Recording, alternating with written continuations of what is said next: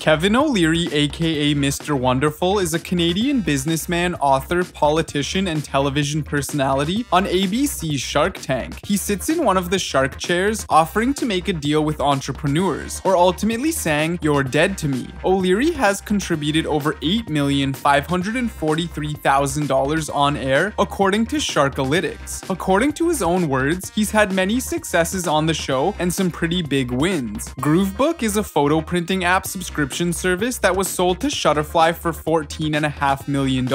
However, Mr. Wonderful hasn't only acquired success stories. There are plenty of deals he passed on, or was outbid by another shark, or he just made a bad call and invested in something that soon proved to be a pretty bad idea. Let's take a look at 10 Shark Tank deals that Kevin O'Leary regrets investing in. The Kate app helps people being unfaithful in their relationships wipe their phones, so their secretive messages are not visible to their spouses. A West Palm Beach police officer developed it after a colleague got divorced because his wife saw his text messages between him and his mistress. The founder of Kate app claims he didn't set out to sell a cheater's app, but marketing for the app includes the word mistress and advertises tools to block calls and texts so your spouse doesn't see them. Though it was strange that a product like this entered the show, Sharks Kevin O'Leary and Daymond John teamed up to invest $70,000 for a 35% stake in it. After the episode aired, they got 10,000 new downloads, and most of the new customers were women. However, it looks like it didn't go far. The last update from the company's Twitter account is from 2013. There are no news articles about it since that time, and the website is down.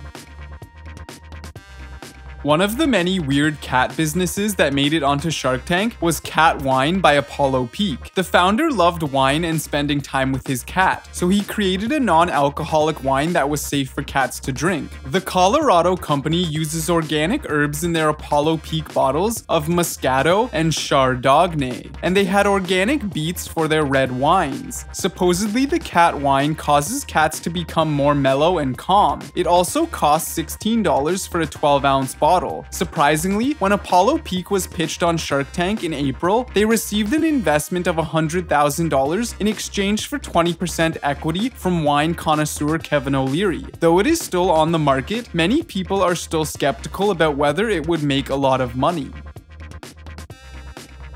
Nicky Pope appeared on the Shark Tank hoping to get an investment from one of the sharks to be able to grow her toy renting service called Toy Toygaroo. The company called itself the Netflix of toys and allowed customers to rent toys for each month. Since kids indeed get tired of their toys pretty quickly today, the business seemed like a good idea. So Mark Cuban and Kevin O'Leary invested $200,000 for 35%. However, the company filed for bankruptcy. A couple of years ago, there were signs of Toy Toygaroo going bankrupt, especially after they posted a banner on their website claiming they couldn't take on any new members because of an explosive growth and officially closed in 2016. When asked what their worst deal was in an interview, both Cuban and O'Leary called out Toygaroo.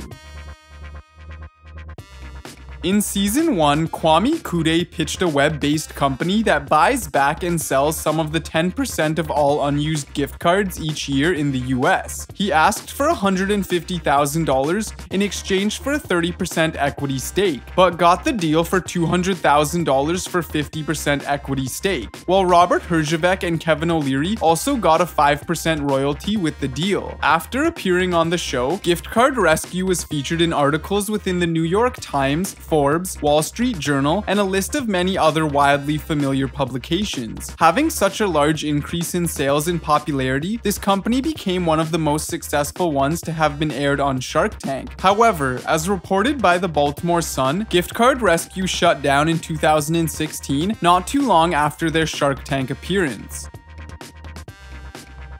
Daniel Wood and David Marchinsky pitched their product in season 4 and made a deal with Kevin O'Leary and Robert Herjavec. Focus Designs is the maker of the self-balancing unicycle, or the SBU for short. After they asked for $300,000 in exchange for a 10% equity stake, they managed to strike a deal for $300,000 for a 33% equity stake. Since then, they added two new versions of the SBU to their product line, and the unicycle was featured on popular shows such as Mythbusters and Tosh.0. However, while the team behind Focus Designs all seem to still be involved, the Amazon product links are broken as the website returns an error, and their social media pages have been sitting untouched since September of 2015. It seems like Robert was correct about the marketing problems for this type of device.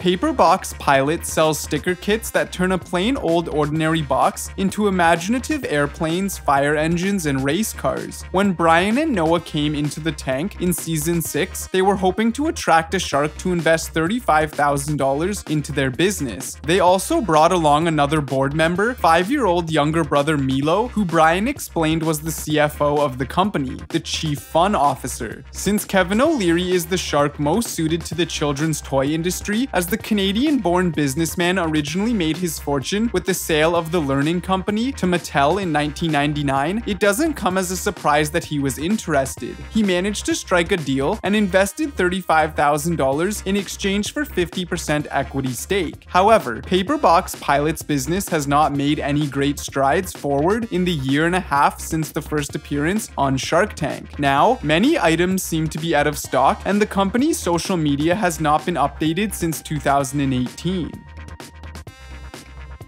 Yubo was another toy-related product that O'Leary was attracted to, and unfortunately, another one that failed as well. Yubo is a new kind of lunchbox featuring unique changeable faceplates that allow kids to update the look of their lunchbox as often as they'd like. In Season 5, Cindy Pedrazi, Paul Pedrazi, and Dan Harden pitched the product to the Sharks and managed to strike a deal with Kevin O'Leary and Robert Herjavec for $150,000 in exchange for a 20% equity stake week. After being featured on the show, they've launched a few new product lines such as a washable tote and larger food storage solutions for teen adult consumers with large appetites. And though it seemed that their business was going pretty well, after 10 years in the business, the company announced that it was closing down in early 2019.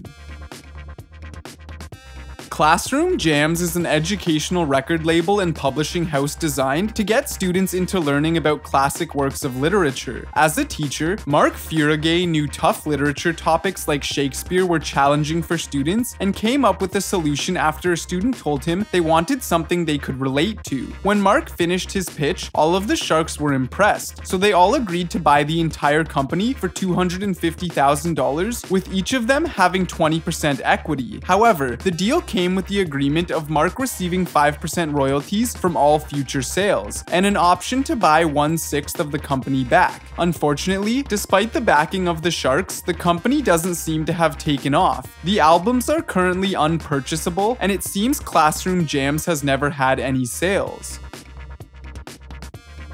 Though these were all the deals Kevin surely regrets making, the next one may be on his list of regrets as well, however for the fact that he managed to miss out on it. By the time Clark and his business partner Cameron Smith appeared on Shark Tank in 2014, Kodiak Cakes was already on Target shelves. They applied for the show in hopes of securing a $500,000 investment in exchange for a 10% stake in the company, a significant portion of which would be used to pay for product placement at other big name retailers. The Sharks were skeptical, but three of them still made offers, one of them being O'Leary. He teamed up with Barbara Corcoran to offer Clark $500,000 for 50% of Kodiak Cakes. However, he declined the offer and left the show without any funding. After the episode aired, the company's sales at Target started to rapidly increase, and they soon became the top-selling pancake mix brand at the store. The last one on the list is actually a reverse situation where a shark loves a product, but the presenter has a big problem with them. Maneesh Sethi came into the tank asking for $500,000 in exchange for 3.14% equity of his company called Pavlok that manufactures wristbands, which shocks its wearer when performing a bad habit through either a manual or automatic prompt. However, Sethi's pitch went so off the rails that it ended with Kevin O'Leary calling Sethi an a-hole and telling him to get out of there. The product is inspired by a decades-old Pavlovian research, but when Mark Cuban asked Sethi if there were any peer-reviewed studies on the effectiveness of his invention, Sethi could only point to an eight-person pilot program with the University of Massachusetts at Boston and the research that predated Pavlov. Cuban and Sethi started arguing with each other, but when O'Leary eventually told Sethi he was intrigued and made an offer, Sethi refused it saying, I would take an offer from anybody besides Mr. Wonderful. He clarified that it was indeed personal, and that's when the altercation happened. Thank you for checking this video out, and don't forget to smash that like button and also subscribe for new videos every day. Turn that bell notification on and comment down below that you subscribed, and we'll make sure to reply and thank as many of you as we possibly can. Once again, thank you for watching and see you next time.